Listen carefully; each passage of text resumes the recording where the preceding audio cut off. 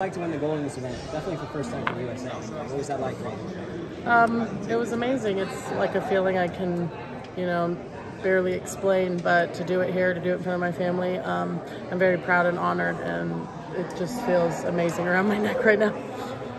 Was it seeing your family, I guess, that really triggered the emotions right there at the end? Yeah, I looked over, and when the mark came up that it hadn't passed me, um, they were freaking out and crying, and then I saw them, and I was like, mm, and I tried to be cool, and then the minute I lost the throw, I just found Maggie and Jess, and was like, ooh, because I knew they would comfort me when I was crying, because I didn't want anyone to see me cry.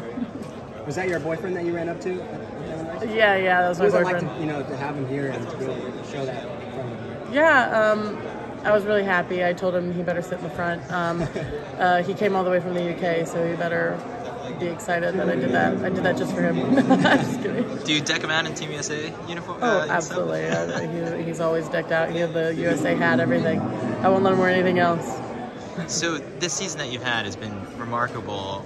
Like, kind of, where do you think, like, just the whole body of work in general, kind of puts you among this, you know, pantheon of the greatest, you know, American throwers of all time? Yeah, um, you know, it just feels good. I feel like I'm I'm I'm getting going, and and I think uh, by the end of the season, I'll have done some more amazing stuff, and just feels good. You know, I'm just sorry, I'm really tired. No, you're good.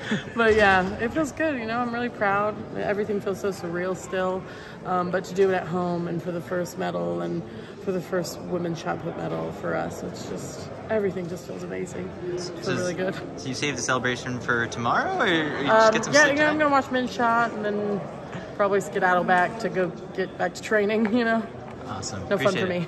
it.